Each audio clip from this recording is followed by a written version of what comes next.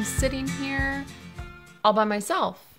My husband is camping with my son, and my daughter is at a sleepover, and I'm all alone. so weird. So weird to have the house be totally silent. But anyway, so I was thinking a couple of things. So I did the electrolytes video, and um, someone posted in the comments below, and I forget the name, King of Kings, I think.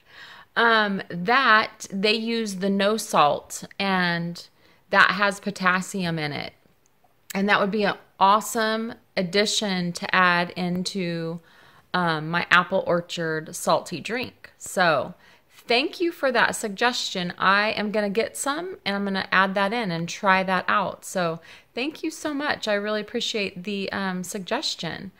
And um, let me know if any of you have tried that. I would love to hear what you think. I think I'm weird because I think it tastes so good. I craved it so much today. I had one. I couldn't wait to drink it.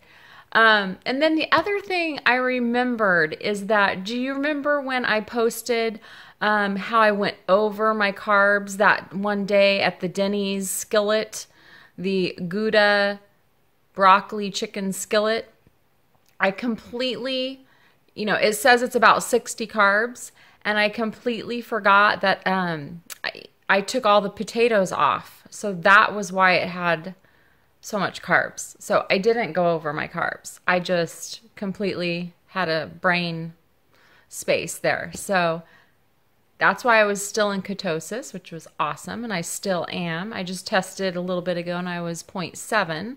Um, I'd like my numbers to be a little higher, but you know, it doesn't matter. It doesn't matter. It just means that your body is um, utilizing the ketones. So, anyway, just a little quick update um, to correct that in my video about the Denny's skillet because completely what I just spaced on that and forgot that duh can't count those the carbs because of the potatoes which I substituted out and got extra broccoli.